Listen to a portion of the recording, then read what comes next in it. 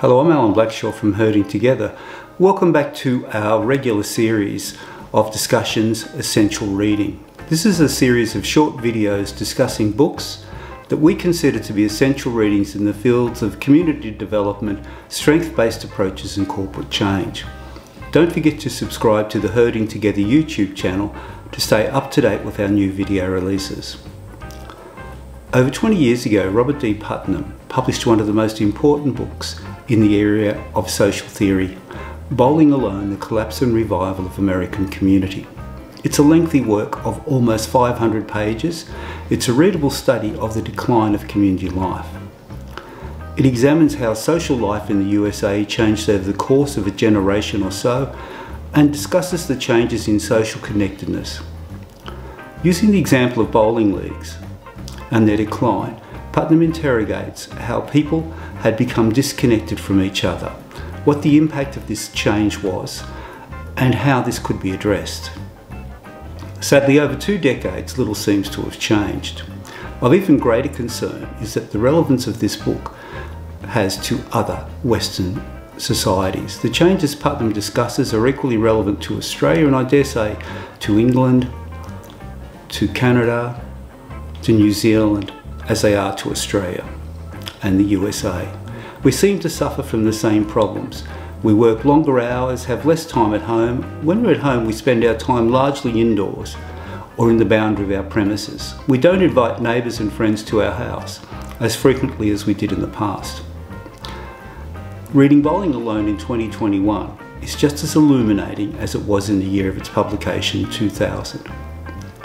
Bowling Alone was one of the first books to examine in depth the issue of social disconnection and its consequences for us as individuals and as citizens. It also examines the importance of reconnecting with each other to create safe and healthy community. In reality, if we're ever to meet the United Nations Sustainable Development Goals, the first thing we need to do is to reconnect as communities. Bowling alone doesn't only describe the problems, but also investigates how we can reconnect with each other and once again build great community and society. At the heart of the work is the concept of social capital. In many ways, this book introduced us to the importance of this type of capital. Putnam spends some time in detailing social capital, what it is, the different types of social capital and why it's essential in community life. In short, he says, social networks have value. Just as a screwdriver, physical capital, or a college education, human capital, can increase productivity both in individual and collective, so too, social contacts affect the productivity of individuals and groups. In this physical capital is about physical objects, human capital, the property of individuals. And he, then he goes on to say, Social capital refers to the connections among individuals, social networks and the norms of reciprocity and trustworthiness that arise from them. In essence, it is the capital generated by social connection that produces supportive, safe, healthy and strong community. Without this connection, such a community cannot exist. Bowling Alone is one of those books frequently referred to by many involved in social change community building and placemaking, is one of the core and foundational works in the canon of writing dedicated to social change and remains just as relevant today as it was when first published. Of interest are some of Putnam's concluding remarks. In the final chapter, he outlines an agenda for change by social capitalists, that is, those of us intent on creating social capital.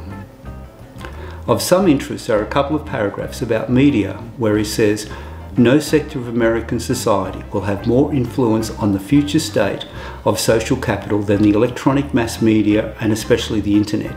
Talk about prophetic. And a few sentences later, he says, Let us foster new forms of electronic entertainment and communication that reinforce community engagement rather than forestalling it.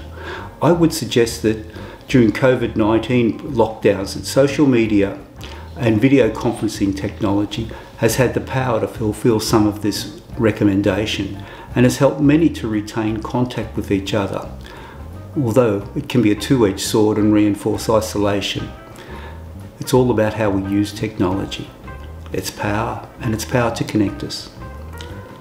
Bowling alone, unfortunately, is still as relevant as it was over 20 years ago, but provides us with a firm foundation in building great communities. If you haven't read it, source it out. It's an excellent piece of work.